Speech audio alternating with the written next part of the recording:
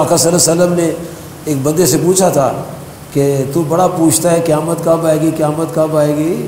تیرے پاس کچھ ہے بھی تو صحیح؟ از کے حضور، کسی چیز پر ناز نہیں، کسی عمل پر ناز نہیں، ایک چیز پر ناز ہے اس دل میں اس کے مصطفیٰ اس پر ناز ہے آپ کی محبت دل میں ہے۔ فرمایا، پھر غم نہ کرو، جہاں میں ہوا تو بھی وہی ہوگا